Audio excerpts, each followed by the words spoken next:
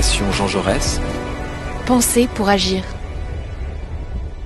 Le rapport franco-allemand euh, du groupe des 12, Naviguer en haute mer, est une commande des deux gouvernements euh, français et allemands au moment du 60e anniversaire euh, du traité de l'Elysée qui scelle l'amitié franco-allemande.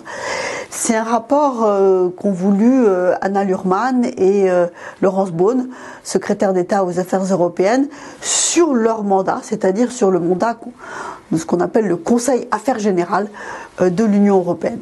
Et au fond, euh, notre tâche, c'était de réfléchir à un triangle. Comment améliorer l'état de droit?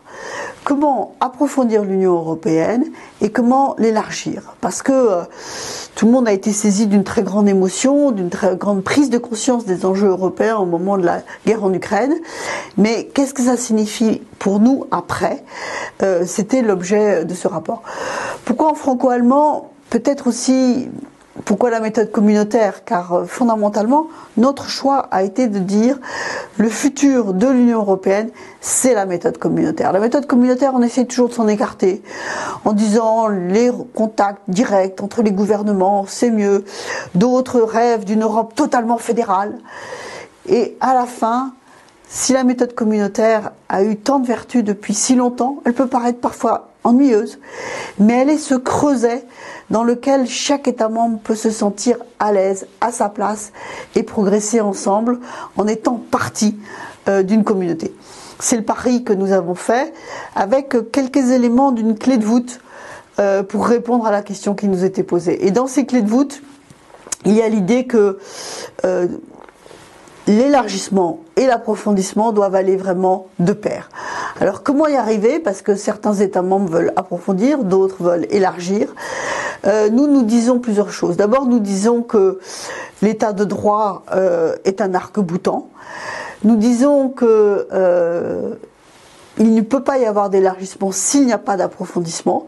Et peut-être faut-il lier les deux de manière très intrinsèque, contrairement à ce qu'on a fait dans les derniers élargissements.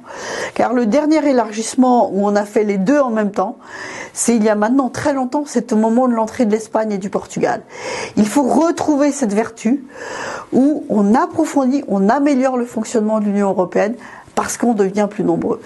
Et pour y arriver, il y a un mot qu'il faut accepter, c'est celui d'une flexibilité.